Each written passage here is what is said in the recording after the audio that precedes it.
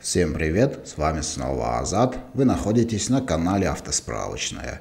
Сегодня будет традиционный видеоролик, который посвящен предстоящим изменениям для водителей в следующем месяце. На этот раз расскажу о том, что же ждет российских водителей в ноябре 2024 года. Для начала давайте напомню о нескольких важных изменениях, которые были подписаны в октябре текущего года и которые, соответственно, в полную силу на практике заработают именно в ноябре текущего года. Первые важные изменения, которые было подписано 14 октября 2024 года, это то, что усилена ответственность за нарушения, связанные с автомобильными госномерами. В первую очередь речь идет о таких нарушениях, как езда без госномеров и езда с госномерами, которые намеренно скрыты.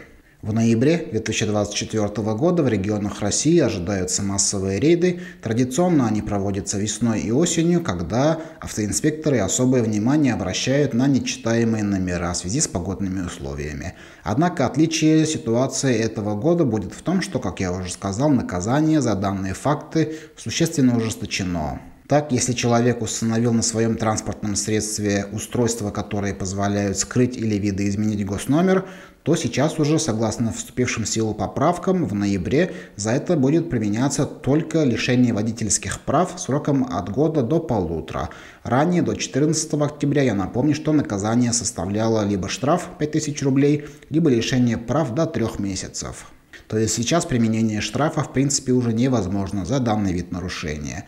Кроме того, лишение прав также от года до полутора предусмотрено за повторные нарушения, предусмотренные частью 2 статьи 12.2 КоАП РФ.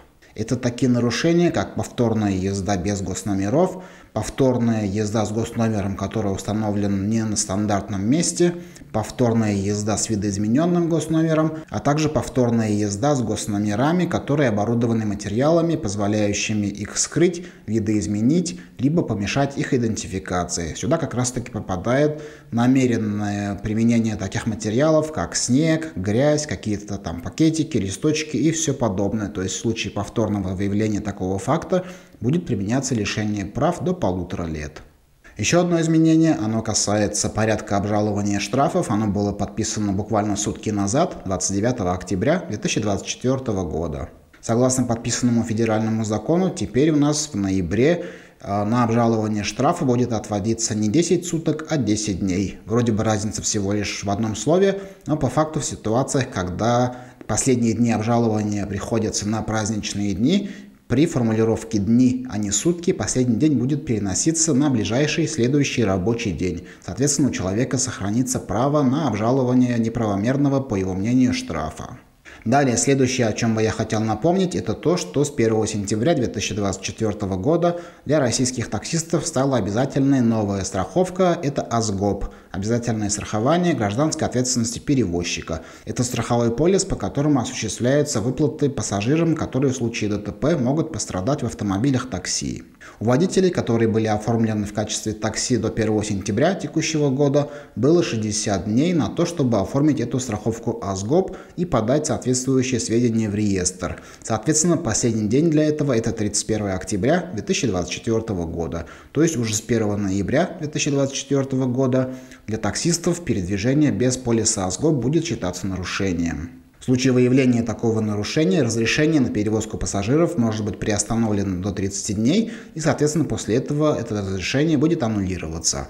При этом э, агрегаторы службы заказа такси будут не вправе передавать заказы на перевозку пассажиров водителям, у которых в системе нет информации о наличии полиса АСГОП. То есть эта информация должна обновляться ежедневно, ежедневно должна проводиться проверка.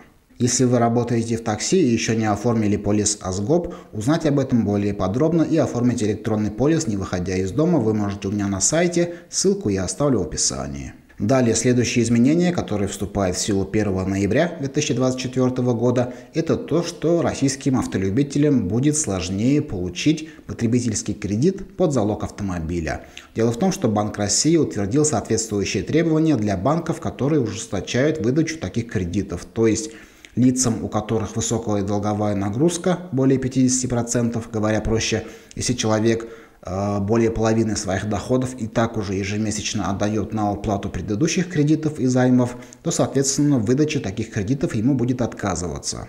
В Банке России объяснили данное решение тем, что количество таких кредитов, когда в качестве залога выступает автомобиль, резко выросло в 2024 году. При этом условия по таким кредитам, то есть процентные ставки, платежи, не сильно отличаются от обычных потребительских кредитов. Соответственно, люди просто сами себя загоняют, скажем так, в кредитное рабство.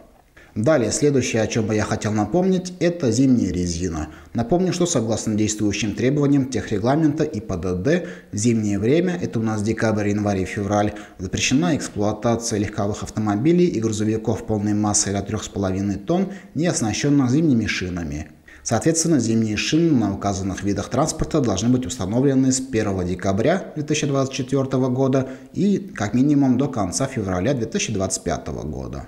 То есть юридически по закону до конца ноября все водители во всех регионах обязательно должны перейти на зимние шины, если речь идет о легких грузовиках и легковушках. Уже после 1 декабря по закону автоинспекторы имеют право за несезонную резину штрафовать на 500 рублей согласно части 1 статьи 12.5 КОАП РФ.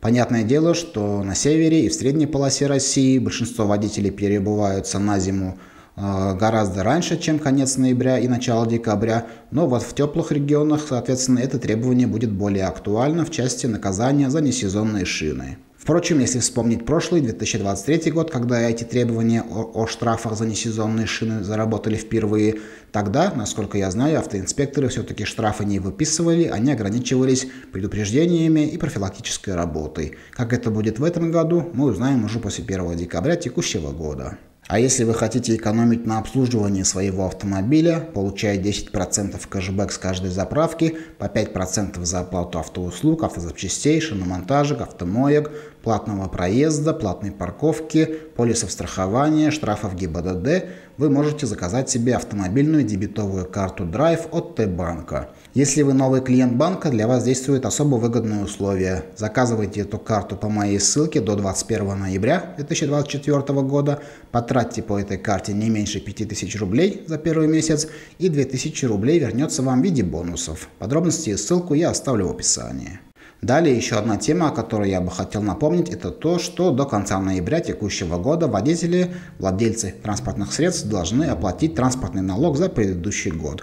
Уже с сентября активно водителям рассылаются налоговые уведомления и в бумажном виде, и через э, личный кабинет на сайте налоговой. Соответственно, не позже ноября нужно постараться эти налоги заплатить, потому что крайний срок оплаты в этом году не 1 декабря, а 2, потому что этот день переносится из-за выходного. Уже после 2 декабря неоплаченная сумма налога превратится в налоговую задолженность. Соответственно, в дальнейшем налоговая может потребовать уплатить данную задолженность. Если человек не оплатит, то налоговая может направить материалы судебным приставам исполнителям. Далее уже это будет взыскиваться стандартными методами, в зависимости от суммы задолженности могут применяться такие методы, как ограничение на право управления транспортным средством, арест транспортного средства, ограничение на выезд за границу России и так далее. И в конце видеоролика хочу рассказать о законопроектах, которые в ноябре 2024 года только планируется еще рассматривать.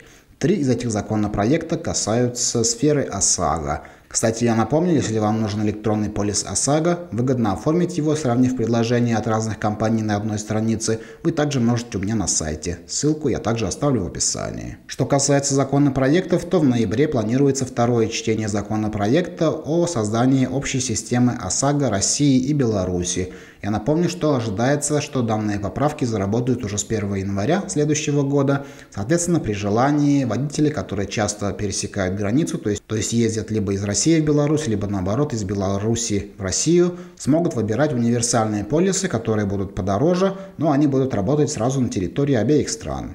Кроме того, в ноябре запланировано первое чтение законопроекта, согласно которому сроки ремонта по ОСАГО хотят увеличить с 30 до 45 дней. 30 октября 2024 года профильный комитет Госдумы рекомендовал к принятию данной поправки. Их первое чтение запланировано на 12 ноября текущего года. И третий законопроект, который также касается ОСАГО и который планируют рассмотреть в ноябре, это поправки об увеличении компенсации за полис ОСАГО для инвалидов с нынешних 50 до 100%. То есть, говоря проще, для некоторых инвалидов стоимость ОСАГО будет возмещаться полностью в стопроцентном размере. Еще два законопроекта, которые планируются в ноябрьской повестке, касаются транспортного налога. Так предполагается первым законопроектом отменить транспортный налог для жителей новых регионов, а вторым законопроектом предлагается отменить транспортный налог на федеральном уровне для инвалидов. И последний законопроект, который планируют в ноябре рассмотреть депутаты, касается введения для чиновников так называемых дней без автомобиля. Согласно тексту документа, предполагается, что в течение недели в какие-то дни чиновники будут обязаны пользоваться не служебным автомобилем, а общественным транспортом. Вот такая вот информация. Надеюсь, видео было для вас полезным, интересным. Спасибо, что досмотрели его до конца.